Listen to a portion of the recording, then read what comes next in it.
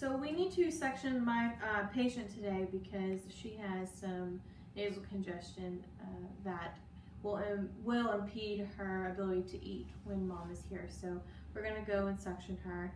Um, the reason why we're gonna use a BBG, which looks like this is a little package, is because it's not as long as a normal suction catheter and it, pre and it prevents less trauma to the baby's nose.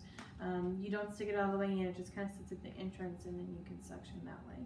So first of all, we've got our supplies. We've got the, um, the suction catheter and itself, our normal saline bullet.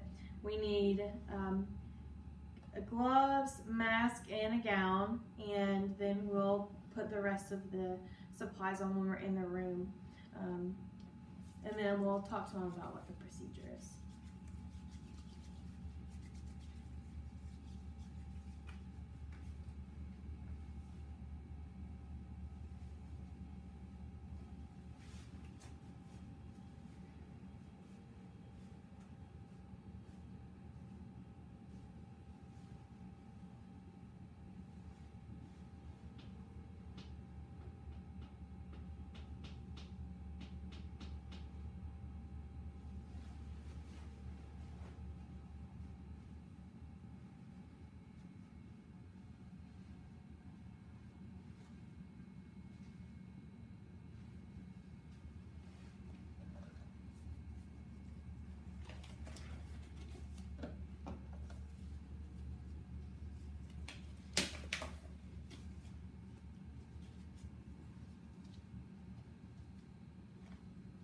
Okay, now we're ready to go.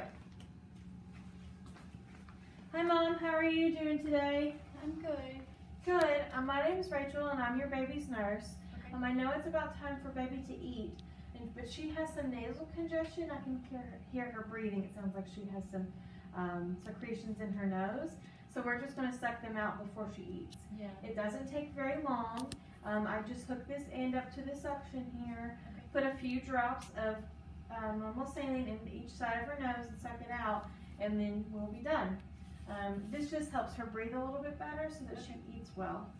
And also, I'm also seeing that her oxygen saturation is 90 right now, Okay. which is good.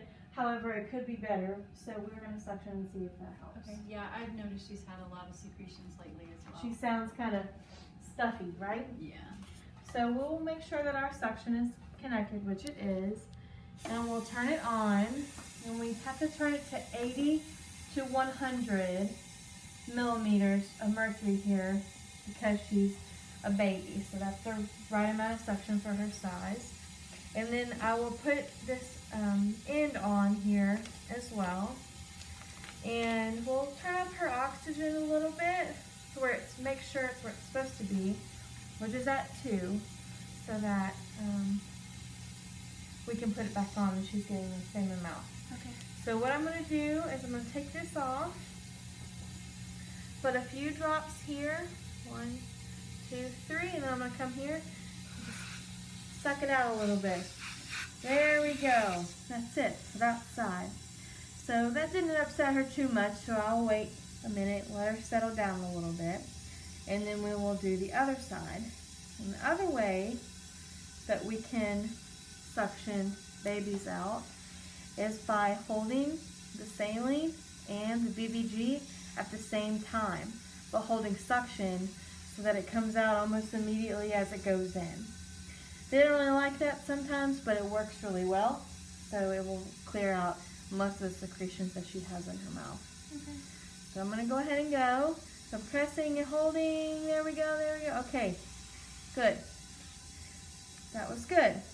So, just listening to her cry, she sounds better already, actually. I don't hear as much secretions.